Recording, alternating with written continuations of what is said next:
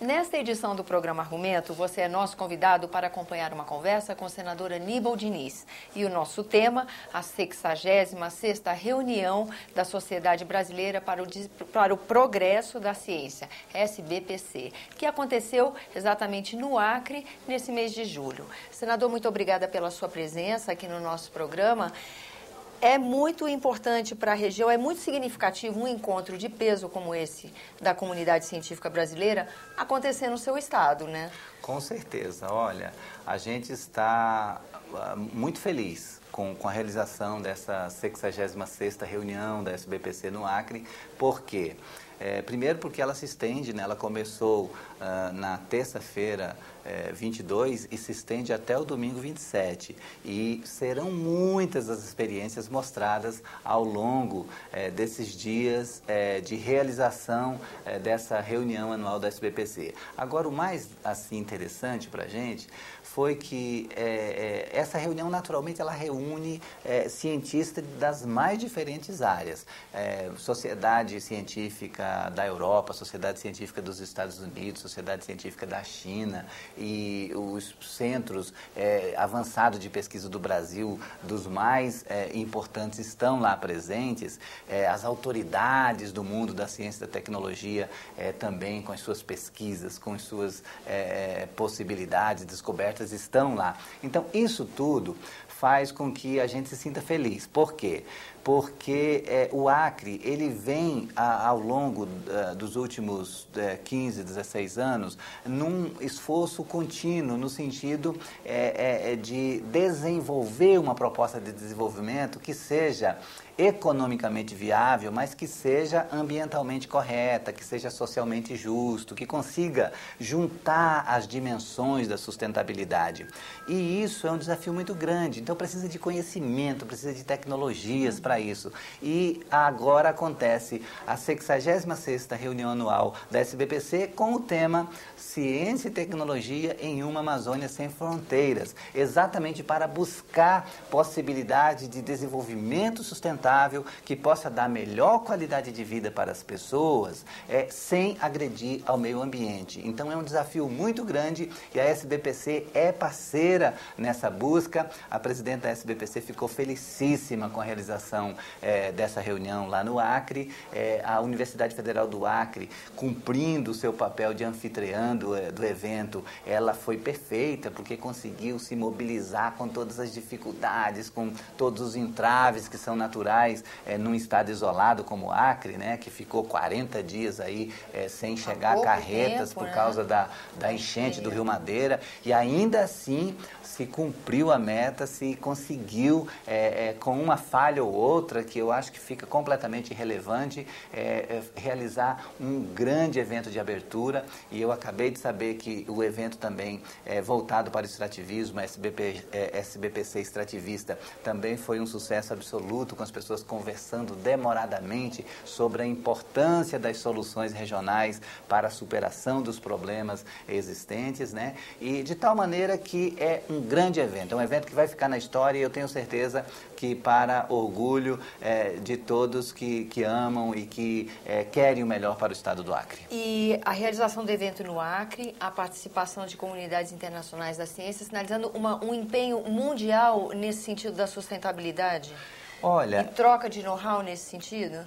A, a, o desafio da sustentabilidade está presente é, é, é, em, em, praticamente todos os, os, estudos sérios, porque as pessoas é, estão verdadeiramente preocupadas com a ideia de como fazer com que o mundo dê resposta aos seus problemas sociais, mas ao mesmo tempo sem agressão ao meio ambiente. Porque num passado não muito distante, se dizia que é, é, o problema da depressão econômica da Amazônia era a não industrialização, por exemplo. Uhum. Aí, por isso, tinha que se desmatar, converter as florestas em, em áreas, é, digamos assim, industrializadas, urbanizadas e tal. E essa é uma tese vencida. Na realidade, tem que se buscar o potencial amazônico naquilo que ele tem de vocação natural, que são as suas florestas, os seus rios, os seus recursos naturais, a sua biodiversidade. E isso tudo está presente nesse debate. E, e o estado do Acre é um estado exemplar porque mesmo sendo pequeno, é, mesmo tendo uma população de 800 mil habitantes aproximadamente, é, atrai a atenção hoje da, da comunidade científica justamente porque ousou tentar um modelo de desenvolvimento sustentável e sempre buscando contemplar as dimensões da sustentabilidade, no que diz respeito ao econômico, ao social, ao cultural, porque tem que ter uma, uma atenção especial. É, nessa SBPC, por exemplo, está presente a SBPC indígena, porque é, é, é, nós temos agora recentemente descobertas é, duas é, tribos isoladas, que, que, cujo contato tem que ser feito com todo o cuidado do mundo, sob pena de transmissão de doenças uhum. e tal. É uma prova de que tem que se estudar também mecanismos de aproximação e de valorização daquilo que é o jeito de ser e de viver dos povos indígenas. Então, a SBPC acontecendo no Acre, com essa temática voltada para a Amazônia, como desenvolver capacidades científicas e tecnológicas para contribuir para o desenvolvimento da região, certamente é algo que vai trazer uma grande contribuição para o futuro. Senador, a gente conversava antes do início da gravação e logo no início da entrevista assim, o senhor também ressaltou a importância de uma continuidade num projeto de política pública para a educação.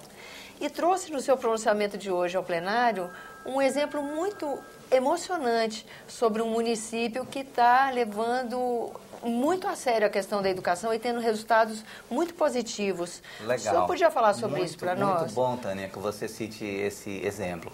Eu acabei de participar também na última segunda-feira lá no município de Rodrigues Alves, que fica uh, na região mais ocidental do Brasil, lá no Vale do Juruá, do Rio Juruá, né? Porque é, lá no Acre a gente é separado pelo, pelos vales, né? Então o Vale do Acre é exatamente o que se forma é, ao longo do Rio Acre. O Vale do Juruá se forma ao longo do Rio Juruá. Então, o município de Rodrigues Alves está lá no coração do Vale do Juruá. Quer dizer, um município que teria tudo para só reclamar de dificuldades e não apresentar soluções. E, para nossa surpresa, nós fomos lá participar de um seminário de educação infantil com a presença de três autoridades do MEC, inclusive com a maior autoridade do MEC na área de educação infantil. E eu confesso que eu fiquei muito feliz quando me dei conta de que a proposta curricular desse município eh, de Rodrigues Alves foi elogiada pela autoridade máxima da educação infantil do MEC, dizendo que se tiver que fazer alguns reparos, serão reparos mínimos,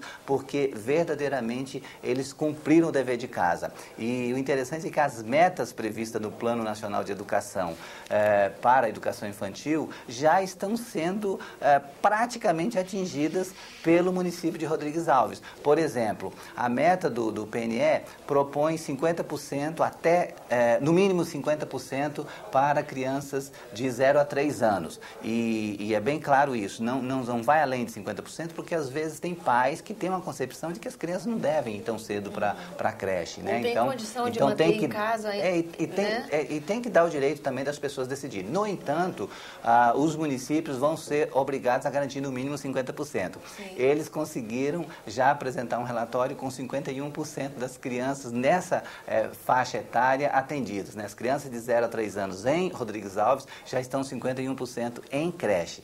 E as crianças de 4 e 5 anos, em Rodrigues Alves, é, é, 92% atendidas. Qual é a meta do PNE? Universalizar é, é com 3 anos de aplicação do PNE. Ou seja, o município de Rodrigues Alves deu uma demonstração de que já está cumprindo, nesse momento, o plano, as metas estabelecidas no Plano eh, Nacional de Educação para a Educação Infantil. E detalhe, PNE tem um prazo de 10 anos para né, para sua é, é, concretização. Ele, ele, vai ser implantado por etapa e tem algumas metas que prevêem o prazo de até 10 anos para a sua implantação.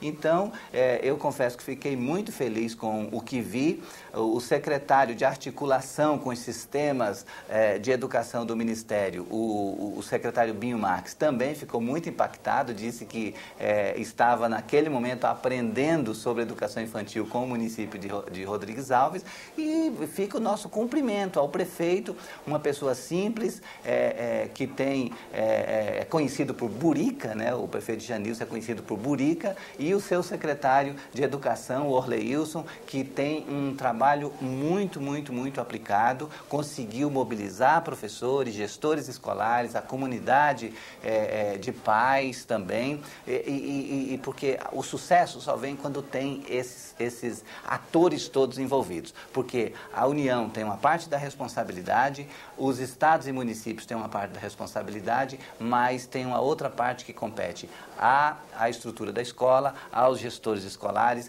e ao plano pedagógico aplicado naquela escola que necessita do envolvimento do professor, eh, da equipe técnica escolar e também da participação de pais e eh, de alunos, porque chega um momento em que tem que também ter o envolvimento dos alunos e os pais precisam dialogar. Então, essa junção toda que envolve essa mobilização, é, que só acontece quando tem vontade política, eu posso dizer que percebi lá em Rodrigues Alves, no estado do Acre, estou muito feliz por isso e cumprimento os gestores é, do município de Rodrigues Alves pelo sucesso que eles estão conseguindo na educação infantil. E um trabalho também, como o senhor ressaltou antes de gravarmos, como é importante um tempo para que uma política pública possa florescer, né, senadora? A continuidade. É uma, também é, é fundamental. É, nós podemos é, é, é, falar, digamos assim, de cátedra da importância do trabalho continuado, porque no Acre nós temos um governo que já é, dura há quatro mandatos. Nós tivemos dois mandatos do senador Jorge Viana como governador, depois tivemos um mandato com o governador Binho Marques e agora temos um, um, um quarto mandato com o governador Tião Viana. E qual tem sido a base, digamos assim, que tem orientado as ações desses governos todos? primeiro de tudo, não perder de vista que nós temos uma vocação florestal. O Acre é um estado florestal. Segundo, nós somos um estado isolado, então precisamos é, de buscar tecnologias, buscar conhecimento, buscar alternativas que vão além do convencional para dar respostas efetivas. Nesse sentido, o governo buscou parcerias, é, por exemplo, com o estado da Califórnia, nos Estados Unidos, para é, é, é, justamente fazer a, a comercialização de, de, de carbono. É, o primeiro contrato de comercialização de carbono, de crédito de carbono no Brasil, aconteceu com o Estado do Acre, já como fruto dessas é, buscas de, de, possibilidades assim bem interessantes. Quando eu estive na, na COP19, eu pude participar da mediação de, uma, de, uma, de um contrato entre o governo do Estado e o Banco KfW da Alemanha, justamente é, voltado para a comercialização de carbono, o que é remuneração de serviços ambientais, que é um sonho, é, é, digamos assim, de sustentabilidade que não acontece, não é uma realidade no Brasil, mas já acontece no Acre, em benefício das comunidades. Então, o trabalho continuado é fundamental para que os objetivos alcançados possam ser consolidados. Tá certo, senador. Muito obrigada pela sua presença aqui no nosso programa. Eu que agradeço a, a, o carinho e a gentileza de vocês. Bom a você que nos acompanha, muito obrigada pela atenção. Esse é o programa Argumento. Eu sou Tânia Horman e você pode participar do nosso trabalho. Envie sugestões e críticas para 0800 61 2211 ligação gratuita ou acesse senado.leg.br/tv. Até a próxima.